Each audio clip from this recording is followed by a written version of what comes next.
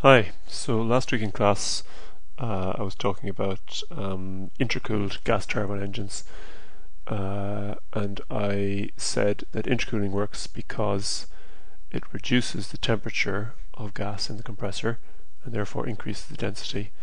And uh, because of that it turns out that you need less work to compress the gas to a given pressure.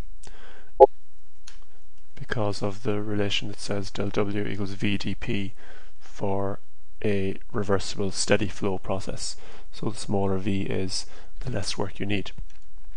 Uh, which seems fair enough, but somebody asked a very insightful question in class, which is that if you cool the gas coming out of the compressor, then you need to add more heat to the gas in combustion to get it to the same turbine inlet temperature. And that seems like uh, a sound argument. So the only way to get to the bottom of this is to properly analyze the cycle. I can't see any easy way of explaining uh, well why intercooling works or why it should improve overall cycle efficiency as, as it claims to do. So um, what I'm going to do is walk through an analysis of a uh, gas turbine engine with a single intercool stage. My diagram's a bit uh, cluttered here. Uh, so the gas path is uh, from the low pressure compressor to the uh, intercooler through the intercooler. In the intercooler, it gets brought back down to something near ambient temperature through the high pressure compressor out at state 4 through the combustion chamber uh, into the turbine turbine in practice may be made up of two or more stages, but uh, from a thermodynamic point of view, for this analysis, that doesn't concern us. So that's the system that we're going to analyze. Let's draw a um, couple of state diagrams for that. Uh, the usual suspects, TS. Uh, so let's think about this uh, we are taking gas in state 1 at low temperature. We compress isentropically. Uh, then we cool in the intercooler. And let's make our life simple. Let's uh, assume the intercooler is the best it can possibly be. It's a big, well-designed intercooler. So it cools the gas right back down to inlet temperature, which typically is the ambient temperature. You can't do any better than that with an intercooler. Uh, so we come to the uh, from the intercooler to the high pressure turbine, another isentropic compression. Three, four. Then we add heat to the gas and we come into the turbine.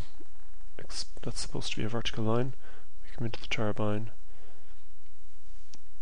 expand isentropically, and then we cool at constant pressure uh, to get back to our inlet state. Isentropically, we go into the uh, intercooler and an ideal intercooler would be constant pressure. An ideal intercooler would be constant pressure just like a uh, combustion chamber is. Compress isentropically in the second compressor stage. We add heat at constant pressure.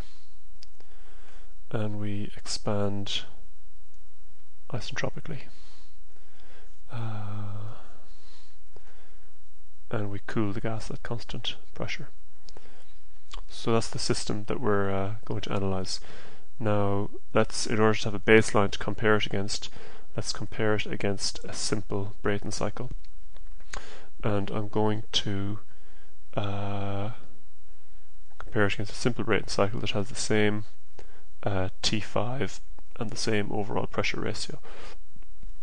So if we had a simple Brayton cycle and the same inlet state, okay, the same inlet state is just atmospheric conditions, so there's not much, uh, that's not going to change very much.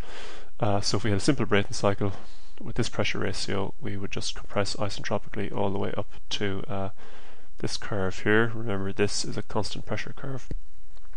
Uh, and I'm going to call that state uh, 2 prime uh, on our PV, and the simple cycle then continues around that loop on the PV diagram, it would mean that this process 1 to 2 continues all the way up to combustion pressure. We'll call that state uh, 2 prime as well. and that's our uh, simple Brayton cycle. Okay.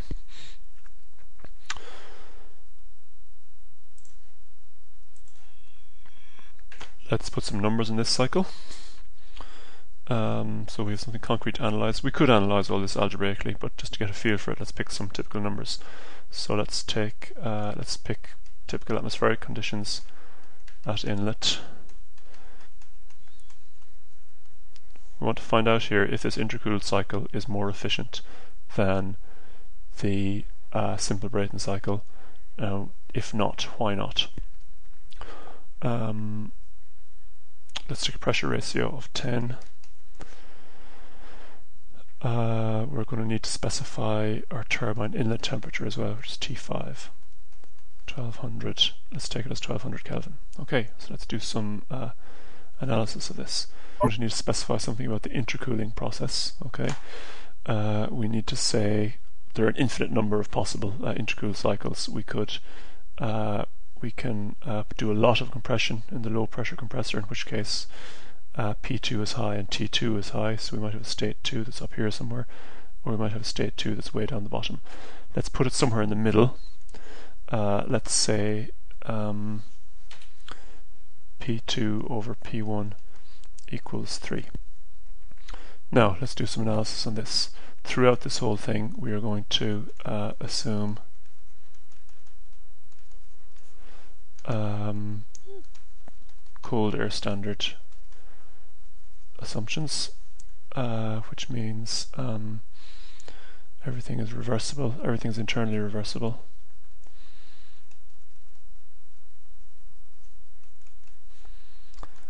Um,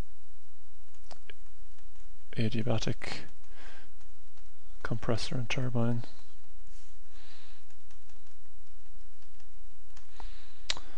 Uh, constant uh, CP ideal gas.